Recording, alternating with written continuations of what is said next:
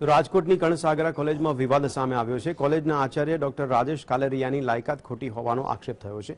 આ મામલે સીએમઓને વોટ્સએપમાં ફરિયાદ કરવામાં આવી છે. કુંડલિયા કોલેજના પ્રોફેસર રતિલાલ ડાબેરિયાએ આક્ષેપ સાથે ફરિયાદ કરી હતી, જેમાં ડોક્ટર કાલેરિયાએ સૌરાષ્ટ્ર યુનિવર્સિટીના એપેડેમિક ઓફિસરના ખોટા પ્રમાણપત્ર આપ્યાનો આક્ષેપ થયો છે.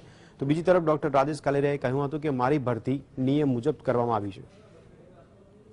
મારા ધ્યાનમાં આવો વિવાદ ડોક્ટર ડોબરિયા દ્વારા બીજી વખત કરવામાં આવ્યો છે. ભૂતકાળમાં પણ એમણે આવી અરજી કરી હતી.